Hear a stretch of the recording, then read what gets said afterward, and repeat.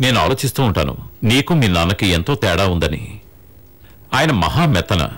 పై అధికారులు ఏం చెప్పినా దాన్ని వేదంగా తీసుకునేవాడు. నేరస్తుల్ని కూడా కఠినంగా మాట్లాడేవాడు కాదు.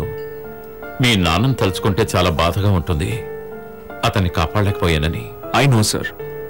You told me that many times. నాన్నకిప్పుడు ఆరోగ్యం బాగోలేదు. అయినా ఒంటరిగానే ఉంటున్నారు. I'm worried. వచ్చి నాతో ఉండమంటే నా మాట విండోలేదు.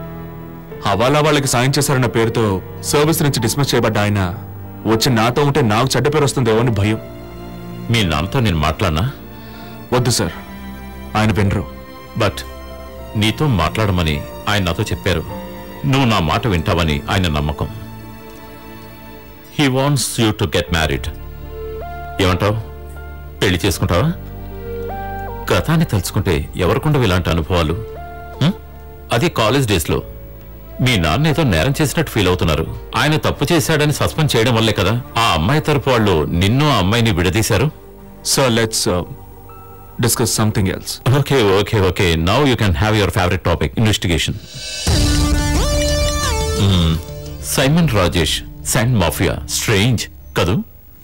మీకు తెలుసు కదా సార్ ఈ సిటీ సరౌండింగ్స్లో జరుగుతున్న మొత్తం ఇల్లీగల్ యాక్టివిటీస్ని కంట్రోల్ చేస్తుంది ఈ పార్లపల్లి సురేష్ జయప్రతాప్ కలిసే. ఇసుక రవాణా క్వారీ హవాలా కొటేషన్.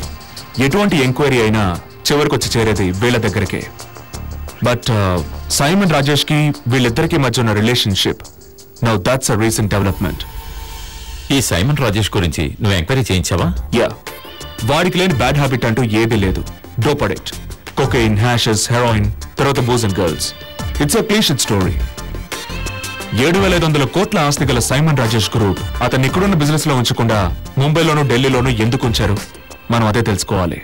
సైమన్ సిటీలో ల్యాండ్ అయింది ఎనిమిది నెలల క్రితమే. రాజేష్ గ్రూప్లో రియల్ ఎస్టేట్ బిజినెస్ బాధ్యత తీసుకొని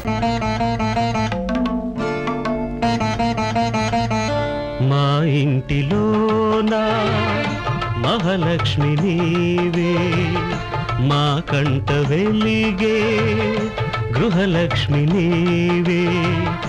సిరులెన్న ఉన్నా చిరునవ్వు నీవే నీ కంట తడిని నే చూడలేను. మా